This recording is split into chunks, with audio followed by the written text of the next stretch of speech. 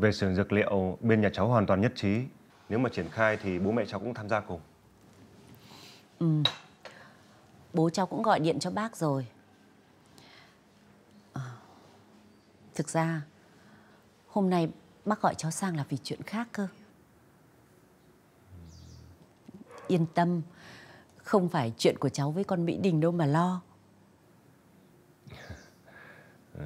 Bác cũng biết rồi à?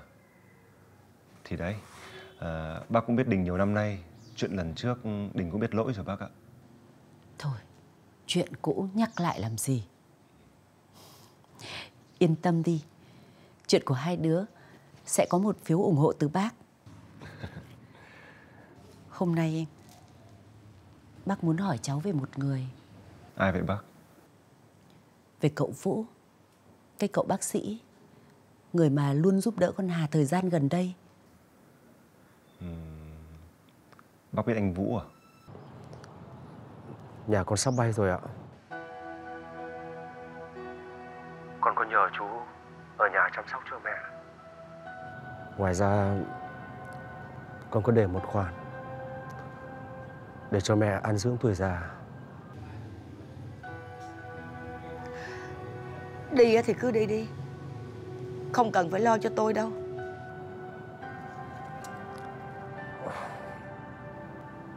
Mẹ. Con biết Không phải lúc nào con cũng đúng. Con muốn trả thù. Muốn giành giật. Điều đó Ai cũng thấy cả. Nhưng Có những thứ con phải chịu đựng Con phải trả giá.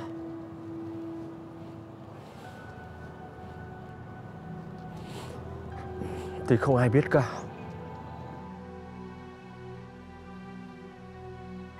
Dù con Có là kẻ độc ác hay máu lạnh Thì thật sự Có những lúc Con chẳng dễ chịu gì cả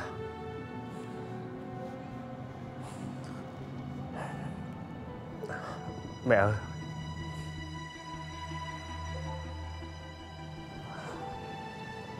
Con xin lỗi mẹ nhiều lắm.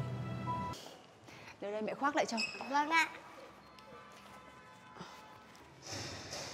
Vui không? Có ạ. Anh là Trần Hữu Nghĩa.